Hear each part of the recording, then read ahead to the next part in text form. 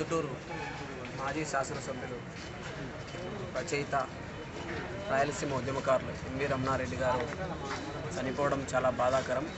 రాయలసీమ ఉద్యమానికి రాయలసీమ సమాజానికి ఇది చాలా తీరని రోటు Rayalaseema Vidyarthi Samakhya RVS Rayalaseema democratic students union RDSU దీనికి ఈయన మృతి పట్ల తీవ్ర సంతాపం తెలియజేస్తూ ఉంది.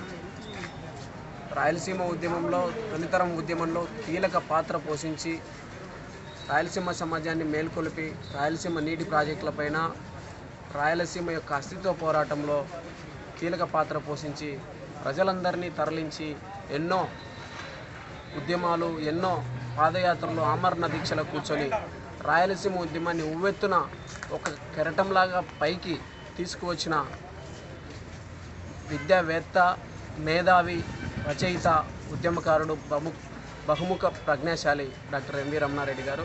ఎంవి రమణారెడ్డి గారు రాయలసీమ కోసం చేసిన ఉద్యమాలు నేటి విద్యార్థి తరానికి ఎంతో ఆదర్శదాయకం.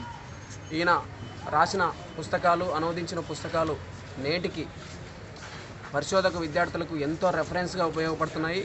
ఎంతో ఆసక్తిగా నేటి రాయలసీమ సమాజం రాయలసీమ చరిత్రను తెలుసుకొని అధ్యయనం చేయగలుగుతూ ఉంది. రాయలసీమ ఉద్యమం ఇలాంటి మేధావులను కోల్పోవడం చాలా బాధాకరం. ఎందుకంటే ఒక్కొక్కరుగా రాయలసీమ మేధావులు తొలితల తొలితరం నాయకులు నేల కొరుగుతూనే ఉన్నారు.